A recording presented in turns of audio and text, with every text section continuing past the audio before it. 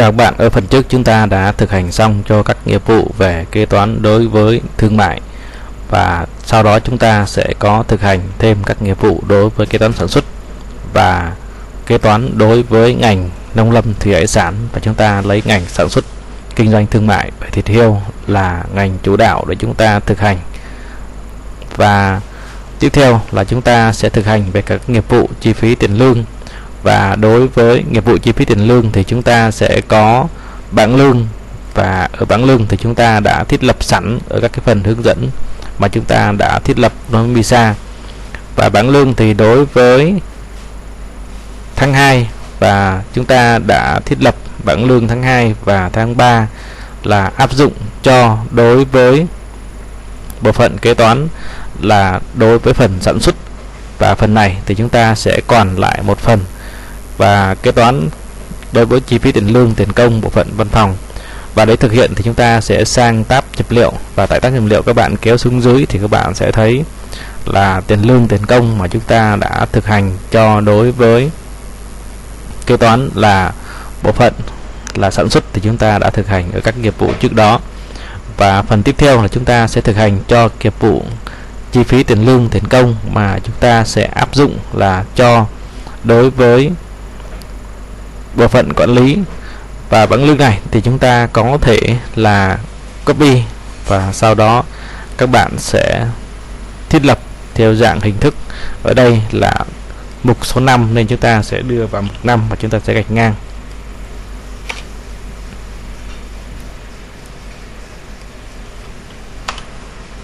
Và các bạn sẽ thấy ở đây, tức là chúng ta đang thực hành đến phân hệ phần số 5 thì phần 1 là thương mại, hai văn phòng, ba sản xuất 4 nông lâm, thủy hải sản.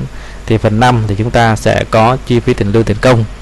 Lý do chúng ta cần phải thiết lập sửa đổi lại, tại vì là đối với chi phí tiền lương tiền công thì chúng ta đang sử dụng cái tài khoản là 341 và đối với trên phần mềm Excel thì chúng ta thiết lập là gần như chúng ta không sử dụng đến tài khoản 341 mà chúng ta gom chung một duy nhất một cái tài khoản là 334 mà thôi nên ở đây chúng ta sẽ phải thay thế lại các cái nội dung. Chúng ta sẽ xóa các cái nội dung từ tài khoản 334 chúng ta sẽ sửa lại thầy là đối với tài khoản 341 341 chúng ta sửa thành 334 và chúng ta không có thêm các cái tài khoản con.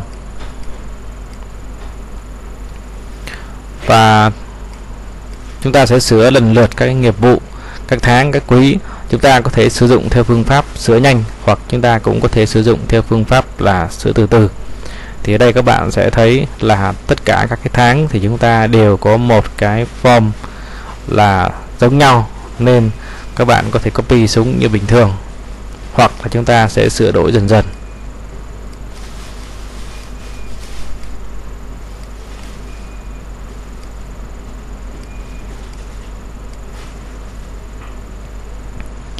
Thì như vậy các nghiệp vụ chi phí tiền lương tiền công của tháng 2 chúng ta đã sửa đổi xong thì chúng ta cũng sẽ xuống tháng 3 và chúng ta thay đổi lại các cái nội dung nghiệp vụ liên quan đến tiền lương và tiền công trong kỳ.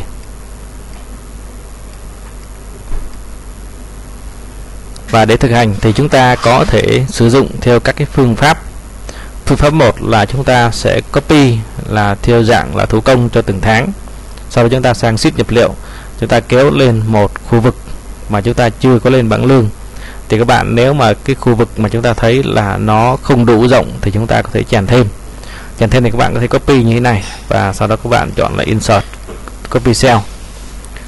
Và chúng ta quay về bảng lương, chúng ta copy về cái nội dung là số tháng và cái ngày. Thì tại đây thì chúng ta sẽ pass cái giá trị value vào. Chúng ta pass value. Và tháng, ngày, thu chi thì chúng ta sẽ để bằng đối với mục tương ứng và sau đó chúng ta sẽ quay sang bảng lương chúng ta sẽ copy hết toàn bộ cái nội dung chi phí mà chúng ta đã hạch toán sẵn sau đó chúng ta quay về nhập liệu và chúng ta bắt value thì đó là cách để chúng ta là thiết lập bảng từ bảng chấm công tính lương và chúng ta sẽ đưa sang phần mềm sổ sách kế toán và chúng ta có thể sang kênh phát sinh chúng ta kiểm tra lại 334 nếu chúng ta số dư cuối kỳ bằng không thì có nghĩa chúng ta đã lên đúng tất cả mọi thứ nghiệp vụ nếu chúng ta lên có số dư bị sai hoặc khác thì chúng ta cần phải xem xét lại và kiểm tra kênh phát sinh, các bạn thấy đây, các cái dấu mà nó không ảnh hưởng thì có nghĩa là chúng ta đã điểm đúng. Vì chúng ta được sửa lại 334 vì nếu các bạn để thành 341 thì các bạn sẽ thấy đây là phần mềm sẽ báo cho chúng ta sai ngay tức thì. Và cái, đây là cái phương pháp mà chúng ta sẽ lên theo phương pháp tháng 1 tháng 2 tháng 3 và chúng ta sẽ lên gần như là thủ công. Và Excel chúng ta có lợi thế là chúng ta có thể lên nhanh bằng cách là các bạn sẽ là sử dụng chức năng là tại đây các bạn quyết khối các cột, hai cột là định khoản nợ có. Sau chúng ta chọn là filter và tại filter này thì chúng ta sẽ, tại BO chúng ta sẽ lọc. Chúng ta chỉ chọn mình cái tài khoản là 334 641 và 602 và chúng ta sẽ bấm OK. Và lúc này phần mềm sẽ lọc tất cả các cái dữ liệu liên quan là chỉ về hạch toán. Và sau đó các bạn là lúc này chúng ta đã có đầy đủ các dữ liệu. Thì chúng ta sẽ quyết khối hết toàn bộ cái vùng dữ liệu của tháng 1, tháng 2 và tháng 3 các bạn sẽ dùng chức năng là copy và sau đó các bạn quay về nhập liệu. Chúng ta sẽ dán đồng loạt. Tức là các bạn sẽ dán đồng loạt tất cả mọi dữ liệu của chúng ta là bao gồm tháng 1, tháng 2, tháng 3 và ngày tháng ở đây các bạn có thể kéo công thức xuống để chúng ta lấy cái nội dung dữ liệu ngày tháng năm.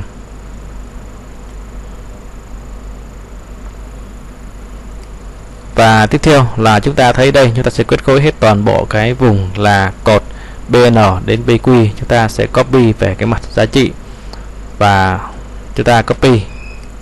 Sau đó chúng ta sẽ về nhập liệu. Chúng ta sẽ dán đè lên cái nội dung dữ liệu cũ. Thì nó sẽ tự động là cập nhật cho chúng ta tháng 1 tháng 2 và tháng 3 đó là cái phương pháp lên nhanh. Thay vì là chúng ta sẽ lên từng tháng, từng quý, thì ở đây chúng ta sẽ chọn cái phương pháp là lên đồng loạt thì sau khi các bạn lên đồng loạt thì các bạn sẽ thấy ở đây là trên bảng lương chúng ta chúng ta kiểm tra lại không có bị lỗi. Và thứ hai là 334 chúng ta cuối kỳ là đã về không. Số tiền tiền lương, tiền công của bao gồm bộ phận sản xuất và bộ phận là văn phòng, chúng ta thấy là 649 315 156 thì các bạn sẽ quay về là tổng chúng ta kiểm tra. Thì chúng ta thấy đây, tổng thu nhập của người lao động sẽ là 649 315 156 thì như vậy là giá trị nó đã khớp trong kỳ cho chúng ta và giá trị đã khớp thì có nghĩa là chúng ta đã lên bảng lương đúng. Còn nếu tổng thu nhập trong năm mà nó khác với số liệu tài khoản bên có 334 thì có nghĩa là chúng ta đã lên sai. Và chúng ta sẽ cần phải giả soát lại các cái nội dung nghiệp vụ sao cho đúng lại.